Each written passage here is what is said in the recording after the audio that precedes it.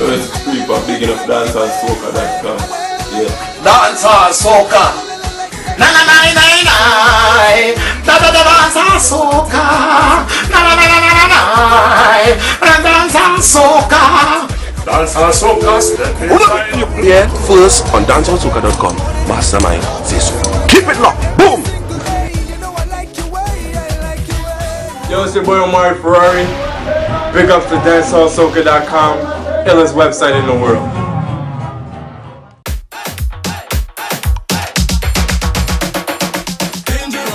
Ferrari and the music from Omari Ferrari just gone a little bit more international than it was before.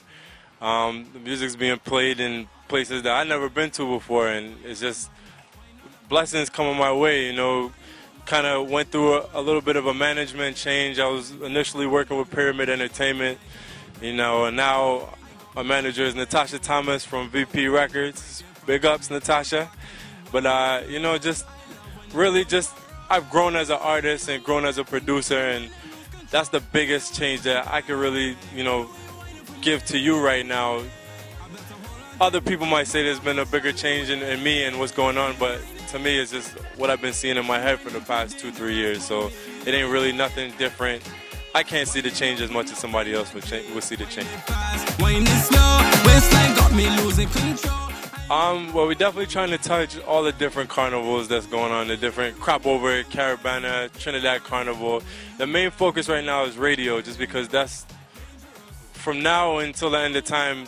I think that's going to be the biggest media outlet that we can possibly tap into. Um, obviously, the internet is great, but you know, with Natasha, she deals a lot with, with program directors at the radio stations, and um, definitely radio. Radio is number one way for us to get the music out. I grew up here in Connecticut, um, on this side of the river, East Hartford. Grew up in East Hartford. Um, born in New York, but ra- raised in Connecticut, and you know it's always gonna be home, and my heart's always gonna be here in CT, no matter what. I had to leave CT to kind of you know spread my wings and, and get a little bit more just recognition for what it is that I do, but definitely CT is always home base and always gonna have love for here. I live in the Virgin Islands, St. Croix, Virgin Islands. Um, doing a lot of traveling between St. Croix and Miami, but home base is, is St. Croix right now. That's where I spend most of my time, and that's where I rest my head. It's a grimy, grimy business, and it's not for for weak people. It's, you got to be strong mentally, not just physically. You got to be real strong mentally because you know there's days where the music industry could break you. Just it gets discouraging at times. Where you just when that discouraging feeling comes, that's when you got to start working harder and pushing harder. Because you know if it was something that was easy for people to do, everybody would be a singer. Everybody would be a producer. But because it's so challenging, you know, only the strong survive in it. And definitely, I consider myself a strong person. I love it. I love it. It's hard, but I love it. I couldn't answer that question to be honest. The biggest song, my favorite song is the song I'm releasing in 2013, which to me is gonna be a hit. But right now, you know, I mean, they all my baby. I love them all, you know, equally, and I, I really couldn't choose a favorite one. But you know, depending on where you go, like Barbados Crop Over 2009, the song that really took off for me there was Happiness. It's just like a, a double entendre song where it has two meanings to the song. Happiness means something else, you know. It, I got a bunch of different double entendre songs and hidden meaning songs with subliminal messages in it, but you know that, that that's probably the one that's that's ringing more bells than than any of the other ones. That one and another one that I have with Peter Ram called Dip It Low. Well, you know, my inspiration comes from my passion and my love for other genres of music. Um, you know, originally I started off with hip hop music, and back when I was doing hip hop, it was a more lyrical. You know, you had to be very articulate to be considered a dope MC. You know, you had to be witty and smart and have good punchlines to come up with with what people were looking at as good music. Um, and also, I'm a big country music fan, and with country music, you can't just have words that rhyme. Like you got to have some sort of concept, and it has to make sense. It has to be has some sort of intellect to be considered good music. And you know, those influences are what influenced me with writing my soca music. Soca music is a type of music where you can be witty and still have a good melody and a good catchy hook and you know people don't look at it like you know this this guy is trying to be too elevated or too intellectual for us because it's a very intellectual music. Us Caribbean people are very intellectual people, so you know it's one of the reasons why I love soca music is because I could be witty and be clever with my lyrics. And I just kind of zone out when I'm writing them. Honestly, I don't remember making the song when I made it. Like, I listen to it after I'm done and I'm just like, whoa, is that really me that made that song? And it's just the whole, you know, creative process to it. I just really zone out and I can't really.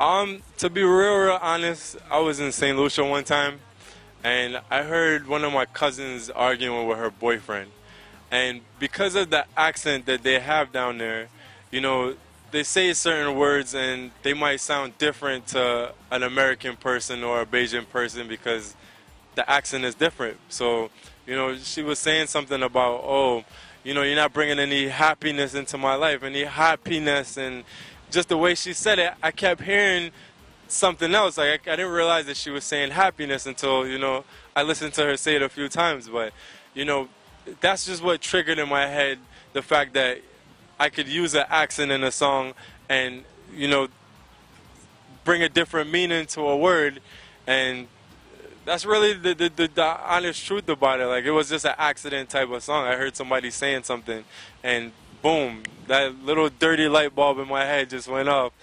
And um, you know that that's really where the song came from. But you know, women need certain something in their life, and some guys just ain't providing it for them. So that's where the, the real my soca side ties in with the little dirty guy side in my head, the, the dirty light bulb, trying to be, you know, make it a dirty song. Like it's a dirty song, but it's a clean song and it's a good, happy, fun, loving song as well. So yeah.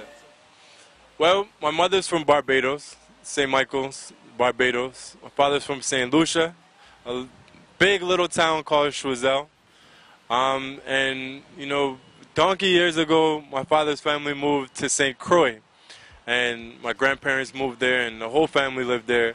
And that's where my my Crucian roots come in because you know he grew up his you know late teens, early 20s in St. Croix, and just going back and forth between Connecticut and St. Croix for vacation. Growing up, I developed a love for the Caribbean. Like I didn't really, I wasn't in the culture living up here like how it is now. Like when I'm in St. Croix, but going back and forth and finally taking one last trip in my adult years, I just fell in love with it. You know, just the Caribbean is the best place in the world to me.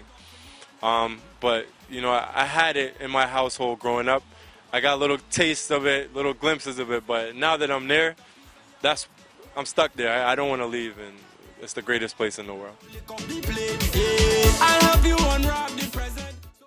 That I mean, really, when I make a song, I try to make something that's not current and it's not from the past. I try to listen and and say, you know, what's music gonna sound like six months, so that you know, if I have to hold on to this song for a little bit, it's not gonna sound outdated, you know, when I put it out six months or a year from now. So it might sound weird, but I kind of think in the future when I'm making my music, I don't want it to sound like anything that is playing on the radio now, or if it is, like some of the songs that I'm putting out now, they're from two years ago, so they're just sitting in the stash, and the powers that be that push my music decide this is the song we want to roll with, and you know let, let's let's do it. Um, but I was joking about the tw- the 2013 thing, but really and truly, like I don't have I don't have a favorite song, so it's got to be a song from the future because the music that I have right now is just you know I hear it so much. I'm I'm listening to it like everybody else, and I know my best is yet to come. Um, right now I'm working. My manager is Natasha Thomas. She's the head of promotions for VP Records in Florida and the Caribbean. We made the link in St. Croix. She had come down to do some promotional work, and um, I mean, one of our mutual DJ connects linked us up, and from there it's just been a match made in heaven. Like she she really supports the movement that I'm trying to make and supports me as an artist as well as a person, and that's a big you know necessity in in terms of what I look for from somebody that's going to be representing me and helping me and supporting my movement. And you know, I just been blessed with her because she's she's a go-getter and you know she's she's definitely helping push the music and Connecticut and especially the town that I'm from, East Hartford, is such a culturally diverse place. You got, you know, Caucasian people, African American people, Caribbean people, Hispanic people. You have so many different types of people and different cultures and different music and different food. It's, you know, like a cultural melting pot here in Connecticut and me being the lover of cultures that I am, like I cling on to each of each of those different cultures, and you know, definitely from a musical standpoint, has influenced me a million times over. Just because you know, music is is an international language. Like that's one thing that people can vibe on, no matter where you're from, what color your skin is. People vibe to music, and um, being here, I was able to be exposed to a bunch of different cultures, and it helped create, you know, this Omari Ferrari character that I have, that I am, that you know I've embodied, and you know, it, it it's definitely helped being here in Connecticut and being around the different cultures that I'm around for sure. Right now, we got the birthday song that's out on the Tola rhythm, produced by my boy Kamal Georges. Um, and you know that song is, is starting to, to touch places all over the world because it's a birthday song.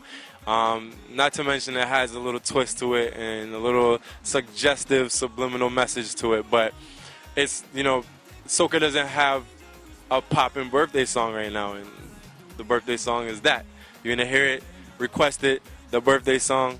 Everybody has a birthday. Listen to the song. The next song I got is called Dangerous Whiners. Um, just another groovy raga soca type of vibe, mixed with dance hall, and maybe I shouldn't be spilling this, but because this dance hall soca, nah, nah, I can't spill it yet. But um, look out for a real, real, real big collaboration on the remix for that song, as well as working on my album, debut album. Um, not titled yet, but because we're working with different management and different push and everything, definitely got to put out a new album, put out an album for the people to, to really learn who this Omari Ferrari guy is and learn the music and learn learn about me and what's going on in my head. And I definitely just want to make my contribution to the music world, the soca world, and you know I love it, so I want to contribute to it to keep the culture going, and just make my contribution to the world.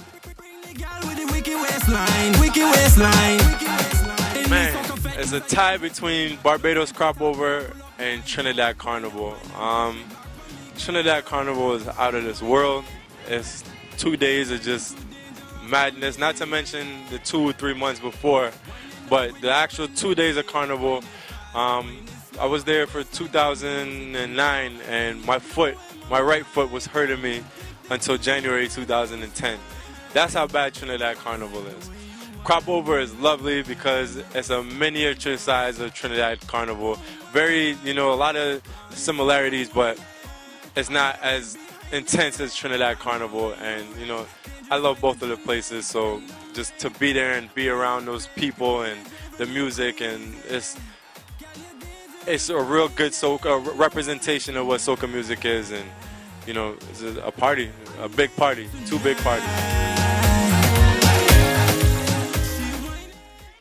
Omari Ferrari is a producer, songwriter, singer, entertainer, hardworking dude that's just gonna give you my all. Every time I, I, I put my voice on a song, this is your boy Omari Ferrari. Check out Dance Hall Soca on Channel 5 every Thursday at 10.30. Greatest show in the world. Dance Hall Soca.